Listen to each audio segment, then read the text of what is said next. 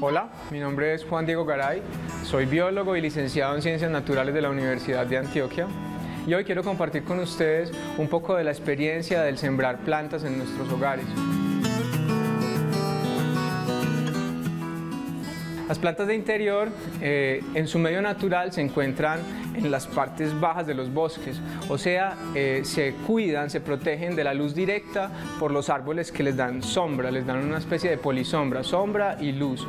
Eh, esto entonces lo podemos recrear en nuestros hogares poniendo las plantas en sitios donde nos llegue solo la luz de un ventanal o la luz de un, de un balcón que permita que la planta adquiera esa energía lumínica para fabricar sus propios elementos y también no se vea golpeada porque son plantas que no resisten mucho la intemperie, el sol extremo, a diferencia pues de nuestras plantas de jardín, de flores.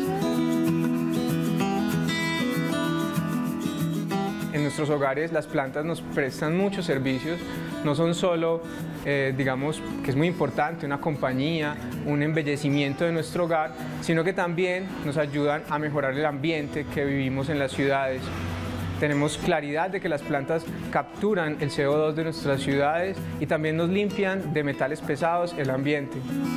Así, plantas de interior como las araces, o sea, los anturios, como la lengua de suegra, como las palmas, los helechos, eh, nos ayudan muchísimo a tener aislamiento de sonido, barrera de sonido para nuestra casa y también para purificar el aire que tenemos y respiramos en el hogar. Las plantas de interior son de fácil cuidado,